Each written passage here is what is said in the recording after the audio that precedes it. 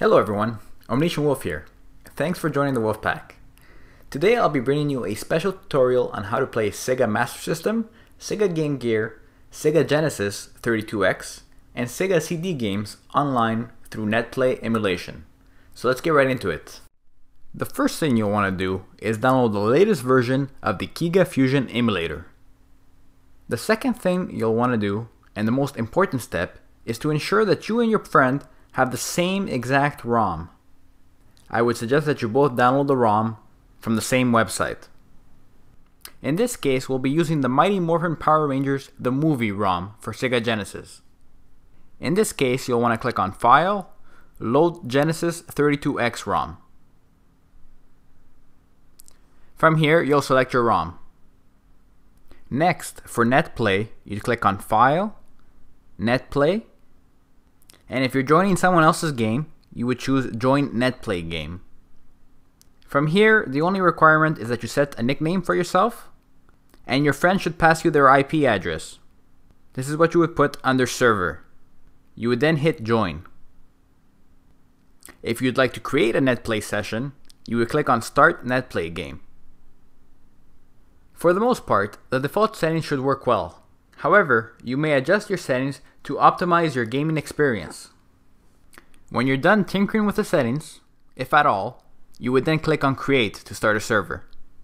As you can see, we're currently waiting for players. For the purpose of this tutorial, I'm using a second computer to connect.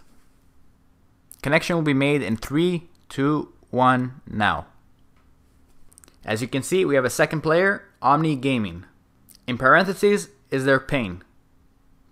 As you can see, the ping is really low since both computers are right next to each other.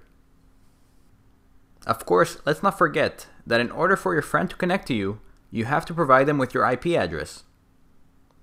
On a Mac, the way to find this out would be to go to your Apple, System Preferences, Network. My IP address will be indicated right here. Now it's important to note that this setup will work out of the box if the host is connected directly through an internet cable. However, in a lot of cases, the host will be connected wirelessly through a router.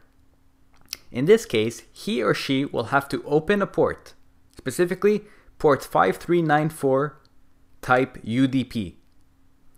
In order to do so, you will have to log into your wireless router. Once again, to find this information, you'll click on the Apple icon System Preferences, Network, click on Advanced, and under the TCP slash IP tab, you'll find your router's IP address. You will type this in your web browser, and you'll be redirected to the login screen. Typically, the username will be admin, unless you changed it, and you would then put in your password. Once you're logged in, you'll want to click on Advanced Settings, and once again, make your way to the advanced settings. Opening a port is also called port forwarding. Here, you'll want to create a new rule. As you can see, I already have one set up. For the name, I set it as Genesis. This could be whatever you'd like. IP address would be the IP address of your computer and not your router. Once again, you would find this under the Apple, System Preferences, Network, and right over here. For public and private ports, you'll want to put in 5394 for beginning and end. Lastly, for traffic type, you would choose UDP. You would then save your changes and reboot your router. The way to open a port on your router might differ depending on the model of your router. If you're unsure how to proceed, you may want to visit the website portforward.com. I will have the specific link in the description box pointing you in the right direction. Now that we have everything set up, let's test it out. As you can see, we have two player modes selected. Let's move on past the character selection phase. And as you can see, we can both move around freely as we wish. Run. And there you have it.